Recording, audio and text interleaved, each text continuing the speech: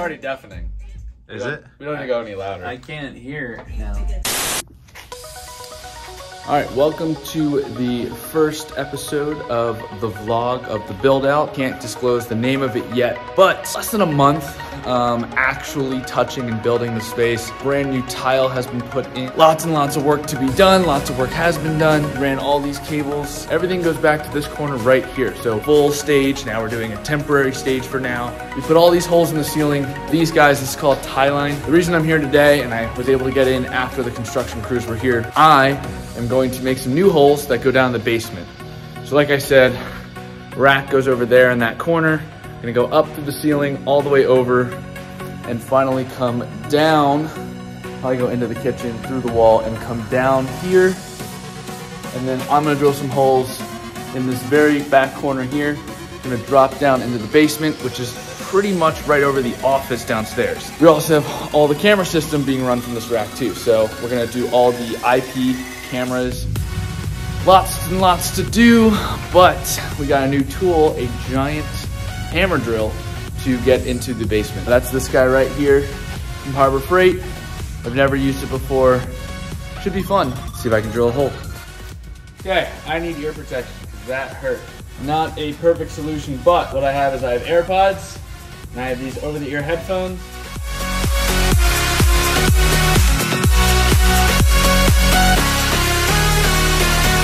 So around there was the holes, and then come through here, down the stairs. There's the office. And the holes, I'm hoping are coming out somewhere around here. I'm gonna stick my head up through here and see if I can find where those holes are.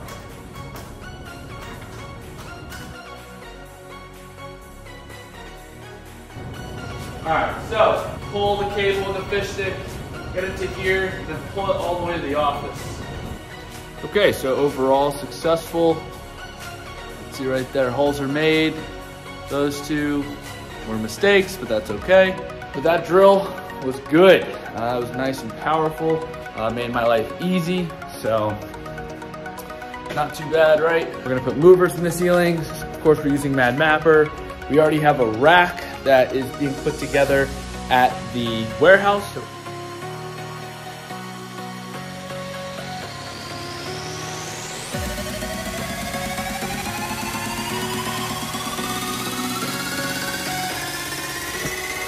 Yo, Brandon, what you got there? a bunch of speakers for install.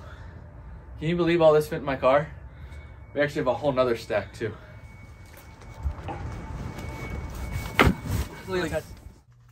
All right, guys. So today we're going to talk about these new speakers that we got in uh, from DAS, DAS, DAS, something like that. OVI 12 series. I have no idea if that's how you're supposed to say it. But that's these guys. They are pendulum speakers, so they go up into the ceiling and hang and point straight down. That's kind of the point of them. But back here are the new line array speakers we have from DAS. Um, but first, I think I'm to clean everything up and kind of get it all organized, and then we'll go over all the specs. Let's do it. All right, so now that we cleaned up a little bit, let's take a look at these guys. Just gonna pull one of these off, open it up, see what it looks like.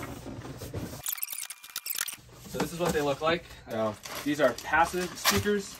The difference between passive and active, an active speaker has an amplifier built into it. A passive speaker, um, kind of like a home stereo, no amplifier built in. You need a separate amp to run these. You can see here, there is a hook on the back, right? These are how they're supposed to be hung, whether you do a chain or a wire, however you want to hang it. Um, they're pendulums, so they basically, you hook to it here, it just hangs, points straight down.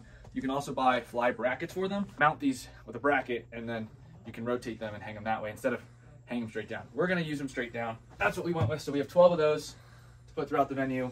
And uh, this over here is the rack that everything gets wired to. So um, right now there's a lot of empty space in it. It will eventually all be full. So start at the bottom, power battery backup at the bottom. That's a UPS system. And then we have uh, two amps here by Dynacord. We spec'd it out with certain amps and gear, and then we had to change based on what was available so we could actually build and get this venue open.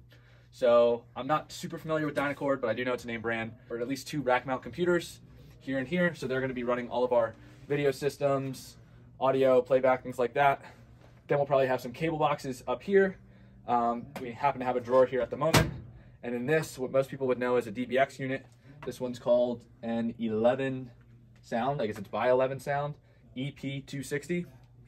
Basically, you cannot get your hands on a new DBX unit right now. Uh, and normally they're used for uh, changing sources or um, EQing out a room, setting delays for different sets of speakers. We're probably gonna have some video distribution stuff happening in here. Uh, we are doing video over IP for everything, but we might also have some ATEM or Blackmagic products like a 12 by 12 or 20 by 20 video hub. Might have an ATEM switcher in here, things like that, so that can live in this space. Um, because we are to be doing, or at least have the ability to do live streams, multiple cameras, things like that, because we are building a live band venue. Want to have those capabilities moving forward. Then we have a uh, security camera system. So this is a DVR for all the security cameras that we can remote into. And then finally, a bunch of switchers. Uh, so what we have going on here is basically all of this is for our cameras and all of kind of the ethernet ports around the venue. Um, so that's what this handles here. And you can see that we're looping from this switch into these two. So these two will kind of handle our cameras. The rest of these ports will be used for ports around the venue. And then up here, this switch is dedicated for video over IP. So basically an ethernet cable ran to each and every TV with a box on the end of that cable to convert uh, video signal to, let's say, HDMI, so it can actually go into the TV. So that's what this switch is for. And finally, a power strip. All right, so that's the rack. Uh, all this stuff is like patch cables, projector, uh, a lot of lighting. So let me take over to lighting from movers, wash lights, haze machines, all the audio, and the front of house systems. So we are going to be using the Q32 for our audio mixer front of house. And it's great for live bands because it has all the physical faders pretty much on a single page. Then over here we have the DAS DAS line array. Vantec speakers, so Vantec here. Um, four tops, two dual 18 inch subs.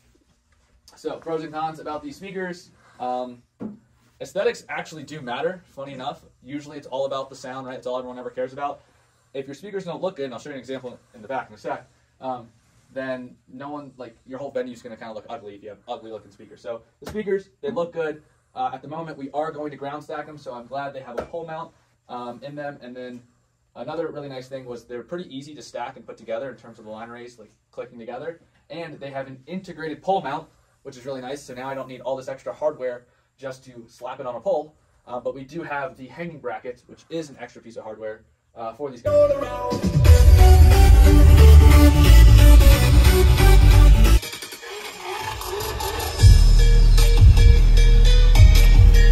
Um, it's enough that you can feel it. Doesn't necessarily beat out our actual line array system that, you know, is huge, but it's enough to make a giant impact in what isn't a very large space. So this system is easily overkill for the space, which is perfect because that's how we like to do things. Um, like I said, we can feel in our chest. Funny enough, in testing, we realized, well, at first we thought these speakers didn't kick very hard, and then later realized uh, it was our own fault because, well, Idiots. yeah, because we're idiots, and uh, we were using this really thin cable from Amazon Basics to get sound from the laptop into the mixer. And we're doing all these tests, and we have it EQ'd, and we're like, wow, these speakers aren't hitting as hard as they should be. Like, what's wrong? Dude, are they not great? Or anyway, we found out that it was this cable just did not was not able to send the low frequencies, uh, meaning the bass, um, enough. Like it was not sending the low frequencies of the music through the cable as much as it should. So then we started using a DI box, uh, which is actually meant for these things. Then we got the full signal actually going through into here, and then we could start feeling the bass. So if you're using cheap cables like this, know that you're not going to get the full quality sound out of them, um, which if you don't have low end might not be a big deal. If you're trying to get a lot of bass out of your system, it is a big deal. All right, so you want to see an ugly speaker versus a good looking speaker. Our RCF speakers. The older gen 745 sounds great. They are a power horse, still a workhorse for us, but they just don't look that great. Then you have the RCF 945, so the ART 945s. They are a great looking speaker and they sound great. They are louder than the 745s. The low end on them is great. Just the whole speaker, I love it. We are big RCF fans over here. Um, this would be a good looking speaker. This is an older model. I'm glad RCF changed over, but that's the difference between what I think is an uglier looking speaker to a good looking speaker. All right, so I hope you like that behind the scenes of a little bit of what we're working on, whether we're building out venues or doing live production, getting new gear in, things like that. If you like these types of videos, go ahead and let me know in the comments. If you don't, let me know what you would like to see, whether it's gear, long videos, short videos, reviews, whatever. Um, yeah, thanks for watching. Have a good one. Subscribe, or these guys are fired. I'm angry. John is not happy when he doesn't have food. The other system we're installing in a new venue, right? That's a boss man? Hey, let's go. Sorry, I didn't mean to ruin your video. Did you record that? oh, awesome.